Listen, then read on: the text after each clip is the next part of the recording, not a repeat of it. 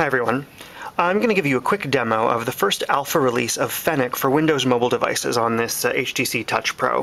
For a more in-depth walkthrough of how the user interface works, I'd recommend you look at our, a video of our first beta release for, Win, uh, for Maemo devices. I'll put a link to that at the end of this video. Um, but I'm going to give you a quick walkthrough of it running here on this uh, Windows mobile device, as well as a couple of things that are uh, entirely new for all platforms. Um, so first, let me just switch here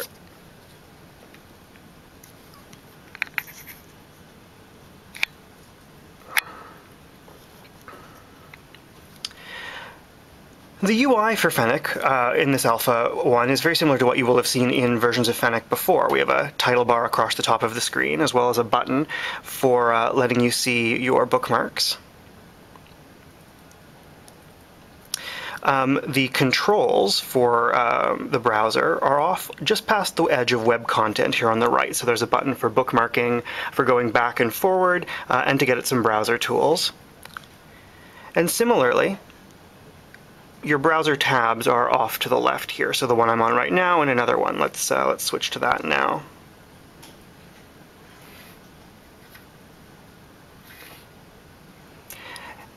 And of course the title bar pans off the top of the screen as you start to move through the page. So you can see that panning works as it does in other versions of the of Fennec. One of the things we're most excited about in Fennec, of course, is the way we try to save you on typing, and the, one of the primary of those is through the use of the Firefox Awesome bar.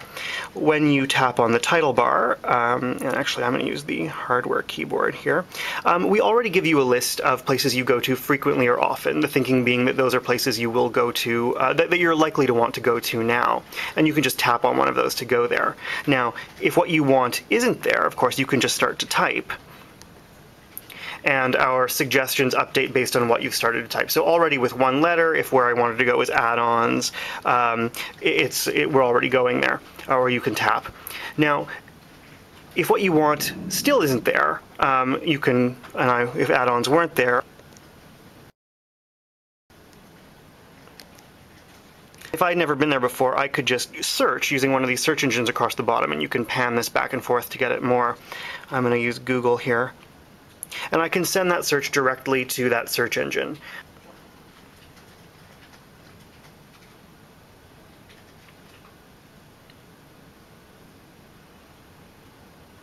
And so here we are, search results are starting to come up, and uh, Firefox add-ons is right there.